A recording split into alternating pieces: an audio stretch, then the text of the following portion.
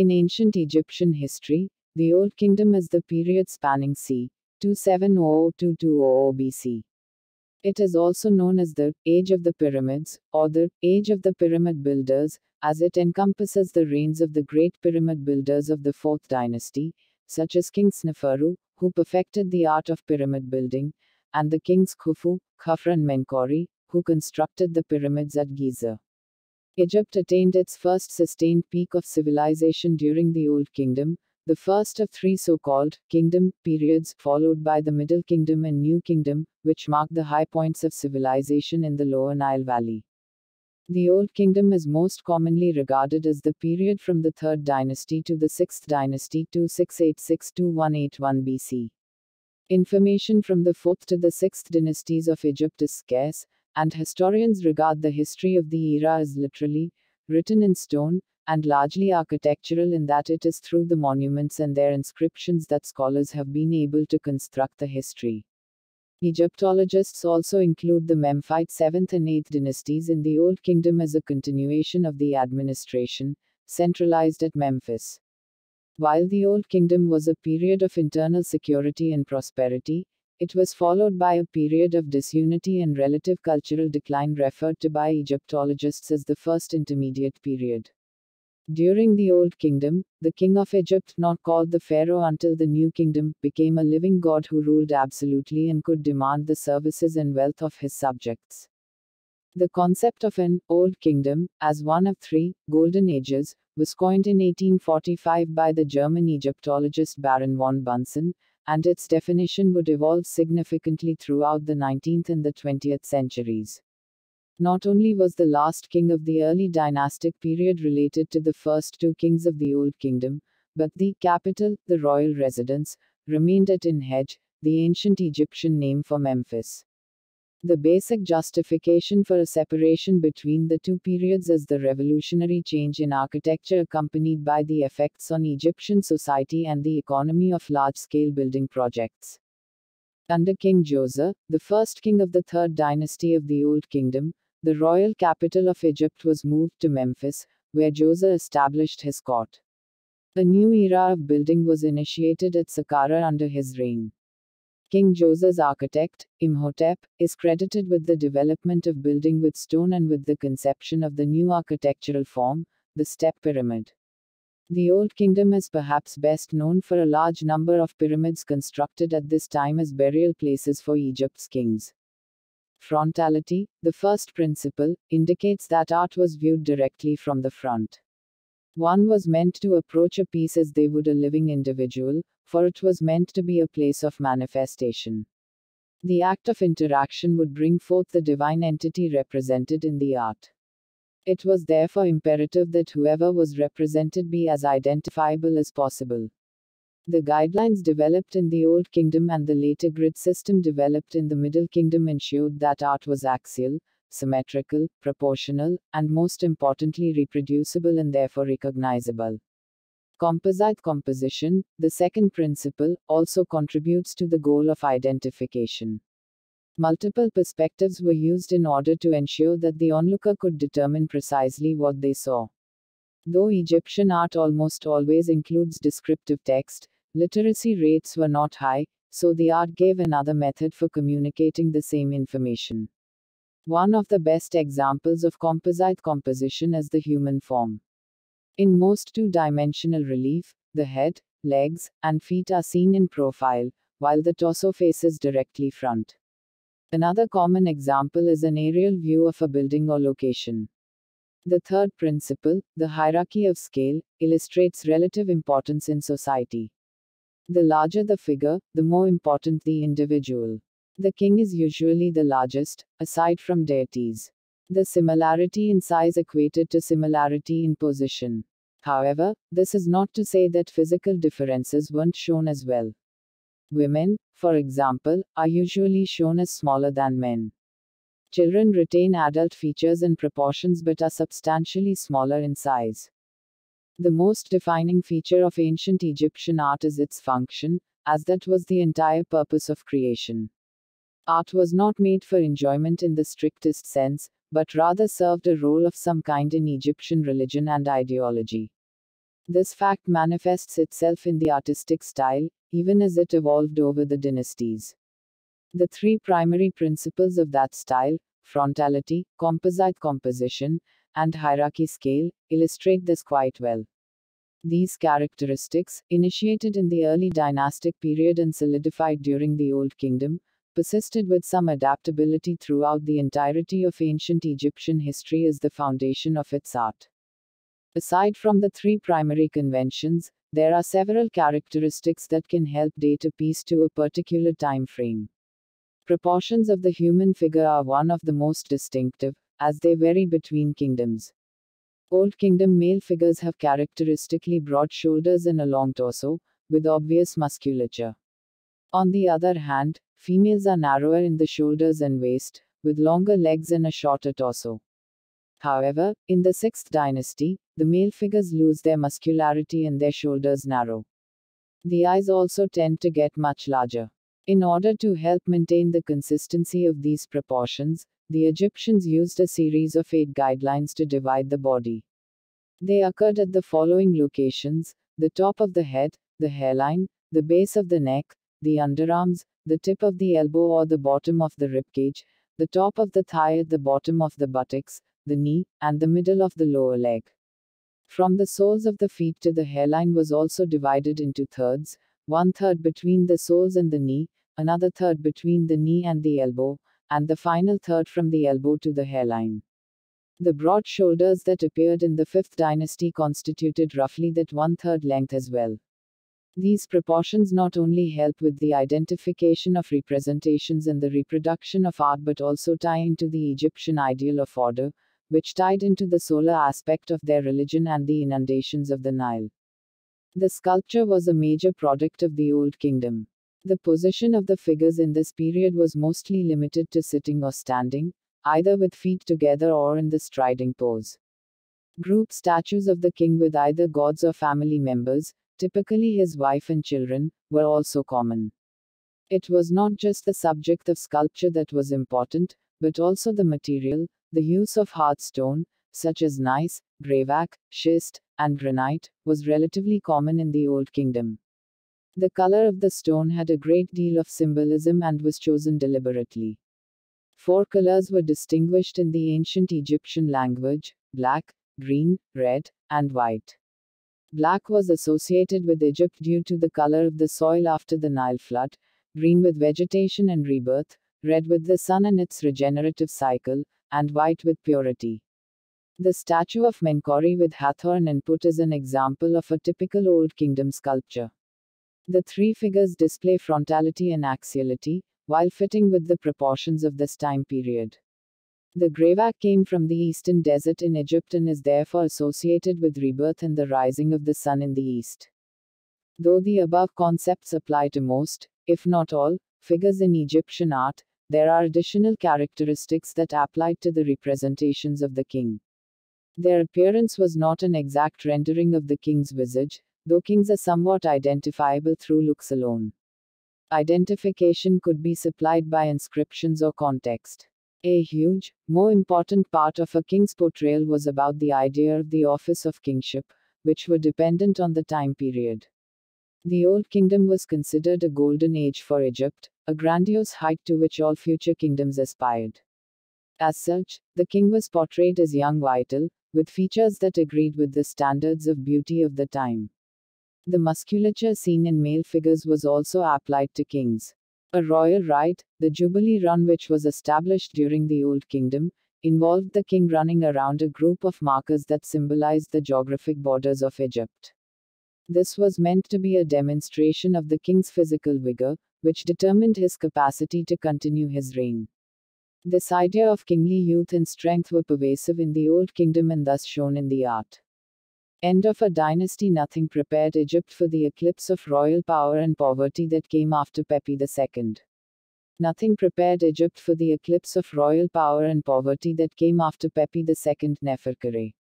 He had ruled for more than 90 years 2246-2152 BC, as the fourth king of the sixth dynasty of the Old Kingdom.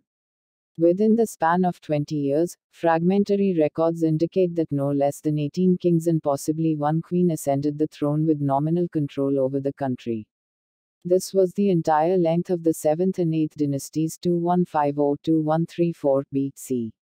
In the last few years of the 6th dynasty, the erosion of power of the centralized state was offset by that of provincial governors and officials who became hereditary holders of their posts and treated their regions as their own property. Egypt, to be sure, survived the disastrous collapse of the monarchy. Within a century, Egyptians had reinvented centralized government. They refurbished the image of kings so that they were not merely rulers by virtue of their divine descent but more importantly had to uphold order and justice, care for the dispossessed and show mercy and compassion. The crisis that shook Egyptian society thus heralded the most dramatic transformation in the royal institution, which was destined never to be separated from the social function. The crisis not only reformed the monarchy but also instilled the spirit of social justice and laid the foundation for mercy and compassion as fundamental virtues. It was these concepts that were later to infuse Christianity and Islam. It was these same concepts that eventually led to the overthrowing of monarchs who repeatedly usurped their powers and denied people their religious rights. What was the factor that weakened the monarchy and allowed provincial governors to assume royal power over their regions? One possibility is an invasion by Asiatics. However, there is no evidence that Asiatics invaded Egypt at the end of the Old Kingdom. Alternatively, the initial breakdown of the Old Kingdom was caused by a sudden, unanticipated, catastrophic reduction in the Nile floods over two or three decades. This was so severe that famine gripped the country and paralyzed the political institutions. People were forced to commit unheard of atrocities such as eating their own children and violating the sacred sanctity of the royal dead. The Egyptian sage Ipuwer gives a graphic description of the horrendous events of that time. Fragmented rule, even imbeciles and children could rule with no threat to the royal institution. Some Egyptologists attribute the sudden collapse of the Old Kingdom to the long reign of Pepi II. However, a reign which lasted for more than 90 years suggests, if anything, stability and strength. Even if the collapse was due to Pepi II's long reign, the struggle for power among the sons of Pepi II at the end of his rule is not a reason for the dissolution of the monarchy. Moreover, it is misleading to speak of his successors as being weak kings without giving any reasons as to how such divine rulers of absolute power could have become so. Under such conditions, even imbeciles and children could rule with no threat to the royal institution. Historically, this has always been the case because kingship is less about the king in person than the institution whose beneficiaries, the royal court, nobles, regional governors, and priests, gain from its presence. They suffer to lose everything if the intuition is compromised or handed over to another royal personage. For this reason, the principle of divine kingship was maintained even when the king was replaced by rulers drawn from outside the family of the enthroned king. We have no indication at the end of the 6th dynasty that there was a bid for power by the local governors. It is only after the initial breakdown that power was wielded by the kings of a province in Middle Egypt, later called Heracleopolis. The capital was approximately 15 kilometers west of Beni Suef on the right bank of Bahr Yusuf. According to Manetho, Heracleopolis became the capital of Egypt during the 9th and 10th dynasties and the town played a major role after the end of the Old Kingdom. Evidence for this account comes from inscriptions in the tombs of a vassal prince at Assiut. These reveal that war broke out between the kings of Heracleopolis and Theban kings. The war lasted for several years and ended when the Theban king Mentuhotep II Nebhepetre 2061-2010 BC defeated Heracleopolis before reunifying the country. Contrary to what some Egyptologists claim, the stability of the long reign of Pepi II was most likely due to the decentralization of the government. This is one of the most successful strategies in managing complex organizations.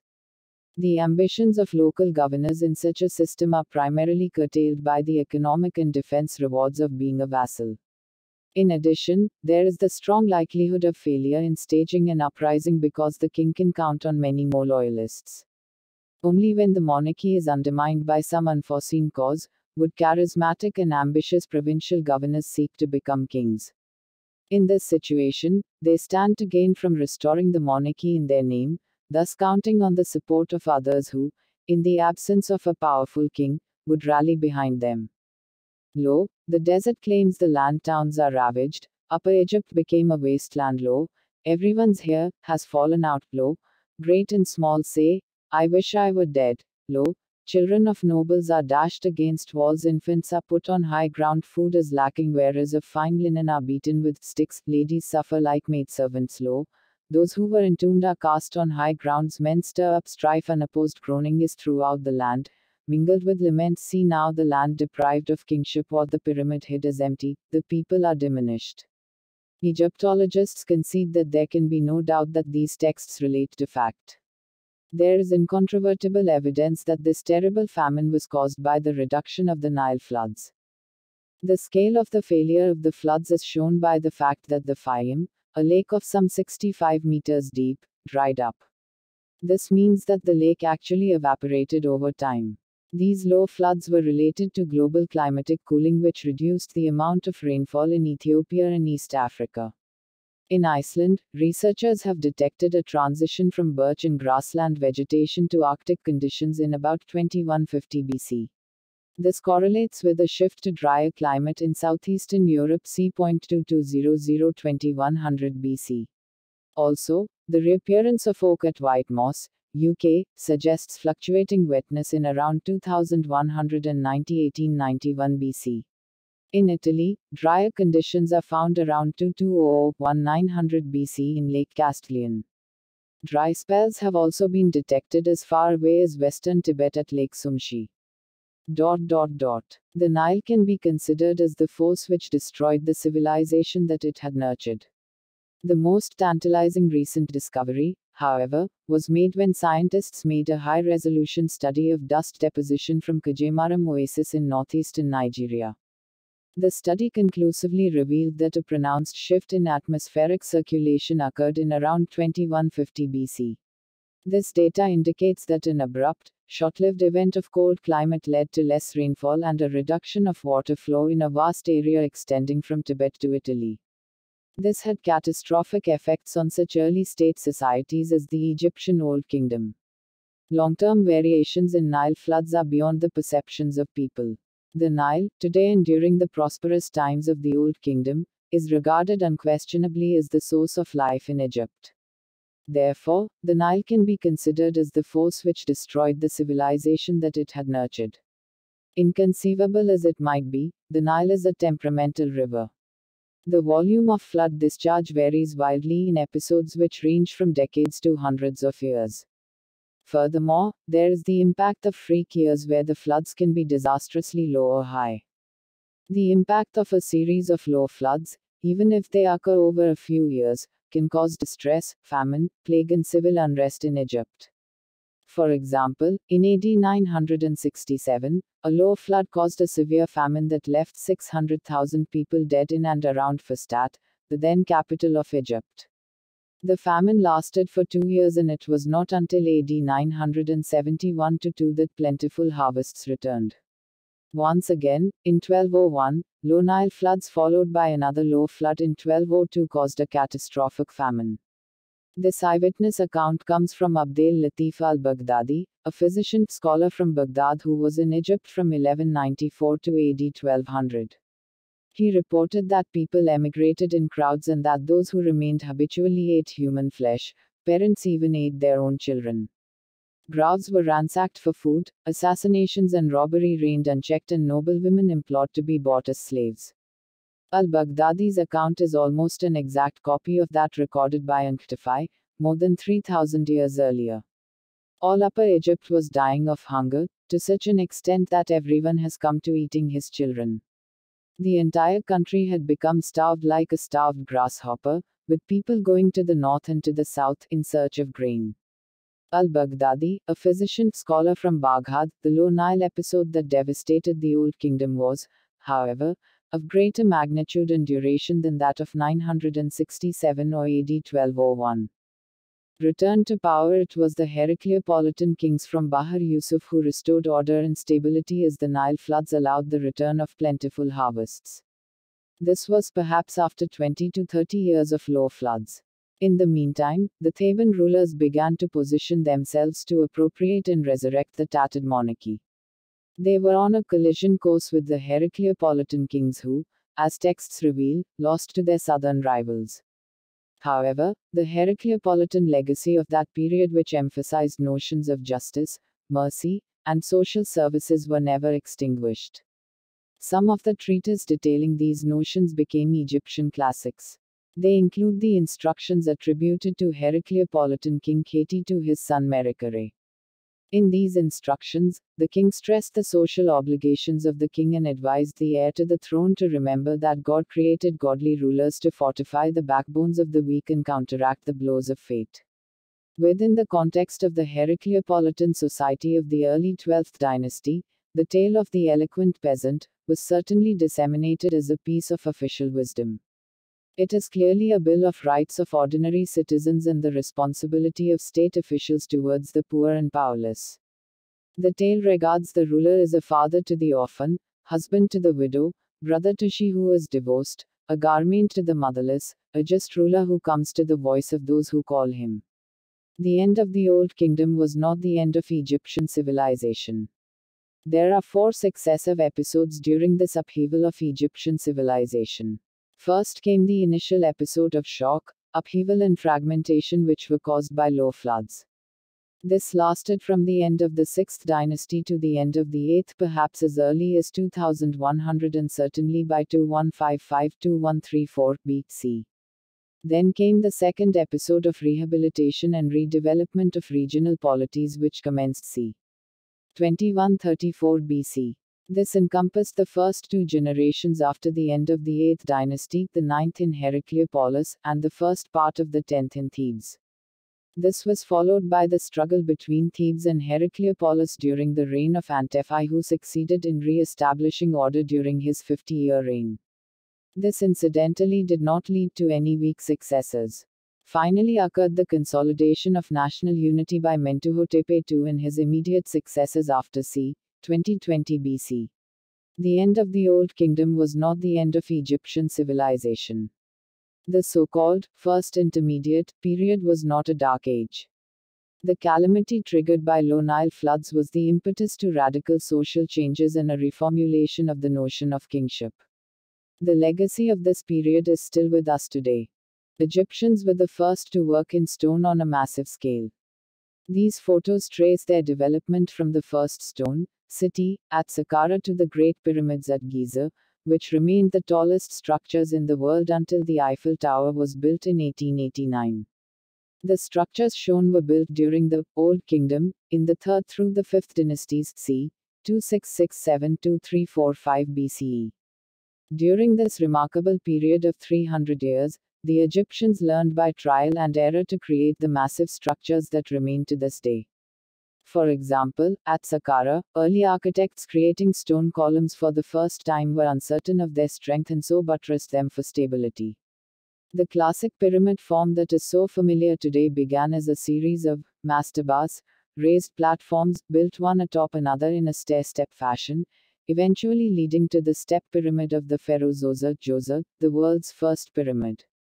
The bent pyramid was another failed experiment along the path to the final form perfected at last with the red pyramid and then taken to a grand scale with the magnificent pyramids on the Giza plateau. Despite these successes, the art of pyramid building, or the will to build such grand structures, was soon lost. The photos also show the Great Sphinx at Giza, believed to have been built by Chephren, also known as Khafre, 4th dynasty 2558 2532 BCE. The Sphinx remains one of the most enigmatic sculptures in the world. Not all of the Old Kingdom's great works were built in stone. Buried next to the Great Pyramid of Cheops, Khufu, 4th Dynasty, 2589-2566 BCE, at Giza, archaeologists found a large, well preserved wooden boat, dubbed the solar boat, that was presumably intended for the pharaoh's use in the afterlife.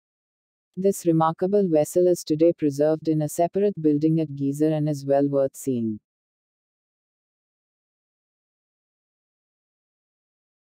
The Old Kingdom of Egypt existed from the 3rd through the 6th dynasties 2686 BC 2182 BC. A period of political stability and economic prosperity, it is characterized by revolutionary advancements in royal funerary architecture. Both Egyptian society and the economy were greatly impacted by the organization of major state sponsored building projects, which focused on building tombs for their kings. These tombs were built in the form of great pyramids, and for this reason, the Old Kingdom is frequently referred to as the Age of the Pyramids. Evolution of the mastaba during the Old Kingdom, royal mastabas eventually developed into rock cut, step pyramids, and then, true pyramids, although non royal use of mastabas continued to be used for more than a thousand years. As the pyramids were constructed for the kings, mastabas for lesser royals were constructed around them.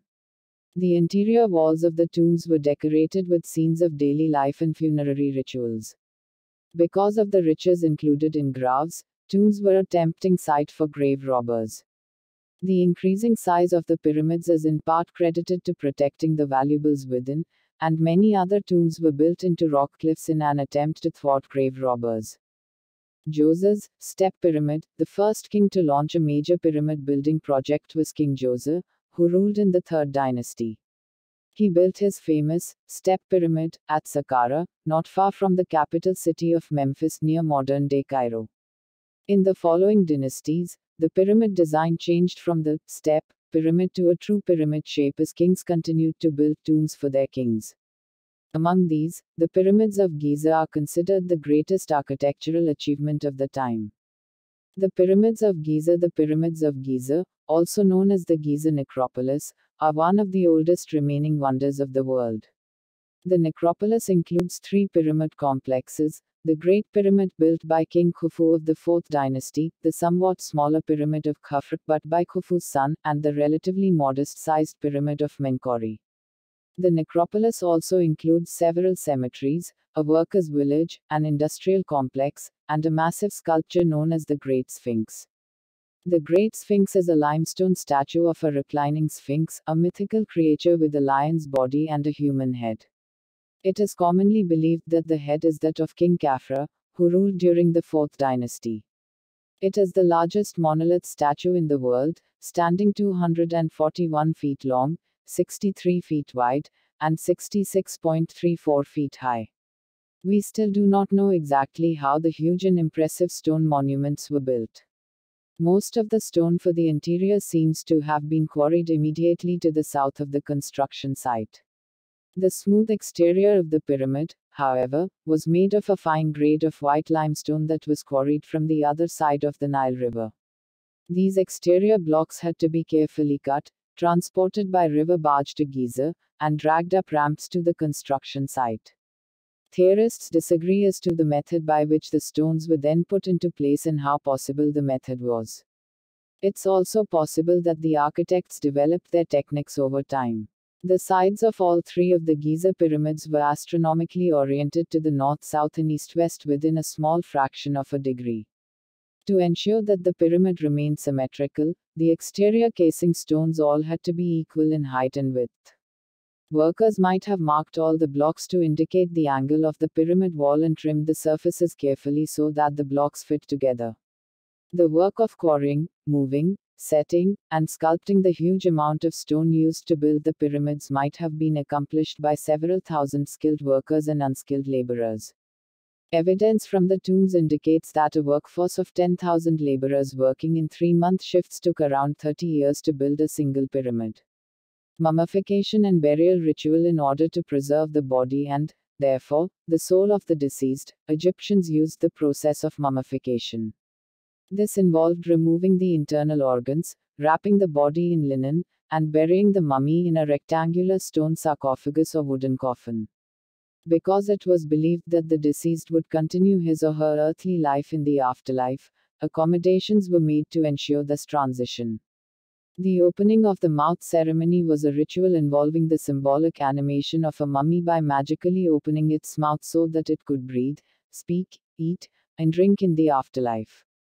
Many mummies were provided with some form of funerary literature, often consisting of spells and instructions for navigating the afterlife. During the Old Kingdom, only the pharaoh had access to this material, which scholars refer to as the pyramid texts. The pyramid texts are a collection of spells to assure the royal resurrection and protect the pharaoh from various malignant influences.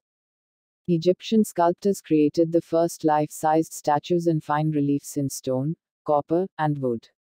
They perfected the art of carving intricate relief decoration and produced detailed images of animals, plants, and even landscapes, recording the essential elements of their world for eternity in scenes painted and carved on the walls of temples and tombs.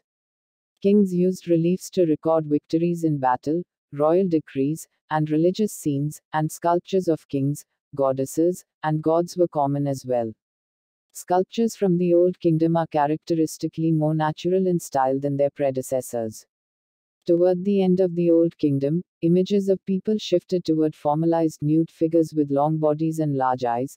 The Great Sphinx, located among the pyramids of Giza, is the largest monolith statue in the world, standing 241 feet long, 63 feet wide, and 66.34 feet high. Carved out of limestone, it represents a mythical creature known as a sphinx, with a lion's body and a human head. It is commonly believed that the head of the Great Sphinx is that of the 4th dynasty 2680-2565 BCE Pharaoh Khafre, whose pyramid stands directly behind the giant sculpture. While most sculptures were made of stone, wood was sometimes used as a cheap and easily carved substitute. Paints were obtained from minerals such as iron ores red and yellow ochres copper ores blue and green soot or charcoal black, and limestone white. Paints could be mixed with gum arabic as a binder and pressed into cakes, which could be moistened with water when needed. By the 4th dynasty, the idea of the Ka statue was firmly established. Typically made of wood or stone, these statues were placed in tombs as a resting place for the Ka, or spirit, of the person after death. Other sculptural works served as funerary art, accompanying the deceased in burial tombs with the intention of preserving life after death. Strict conventions that changed very little over the course of Egyptian history were intended to convey the timeless and non aging quality of the figure's Ka.